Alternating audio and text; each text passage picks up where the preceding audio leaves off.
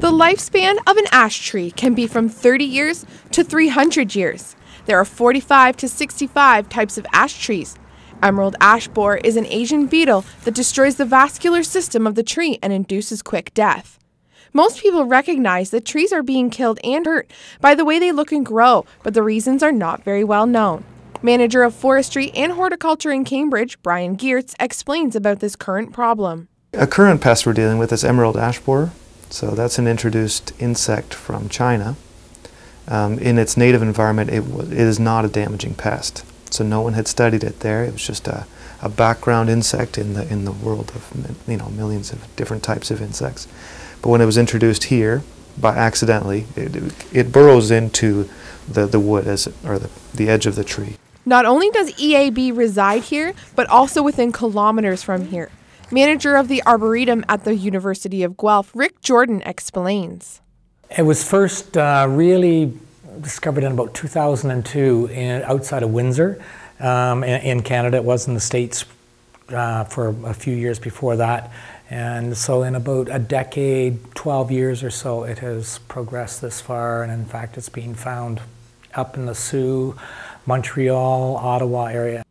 When EAB was discovered, they estimated that it had already been around for about six years, and they were unable to contain it. Geerts explains a common way native bugs make their way into Canada. Accidentally brought in here as part of wood packaging on a, on a skid or pallet or dunnage. They use uh, logs to brace load inside a container ship. They use logs inside to brace the load so they don't shift, and those logs often have the bark still on them. It's just a cut tree that they wedge in there. So though that material is not treated at so that's a, a good avenue for insects and disease to be brought in accidentally. How was EAB found, though? Professor at the School of Environmental Sciences, University of Guelph, Gard Otis has the insight. First founded in Detroit, what they noticed was trees dying, and they obviously had been dying for a while, but people, uh, I guess, didn't look to see what was killing them. And then as soon as they looked and looked, they could see the bark falling off, and you can see all the galleries of the beetles under the bark. They make these little S-shaped galleries, and the trees were just riddled with them and with holes where the beetles had come out. So it was very obvious that this was an insect, and then they chased it down and discovered that it was this beetle from Asia. Around here, it's only been recently discovered, but it was known that EAB was on its way. Other communities, like here around Guelph and Kitchener and Cambridge, we've known this thing is coming. We've been watching it spread. We've seen it get to Toronto. We knew we were going to get it fairly soon. Usually we find it a little before we thought we would. Um, in Guelph, they hadn't found any. They put up traps to see if they would potentially catch any, and the traps Every one of them had beetles in it last year.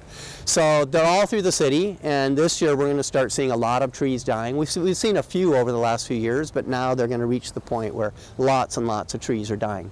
Ash trees used to be as common as the maple tree and oak tree, but with this beetle haunting over them, they struggle to hold on. Ash trees are used to make things like wooden baseball bats.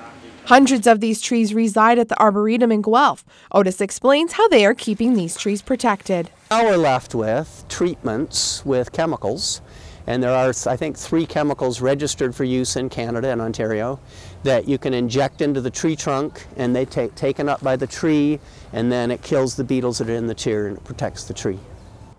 Unfortunately, their future doesn't seem so bright. For Spoke TV, I'm Kate Leahy.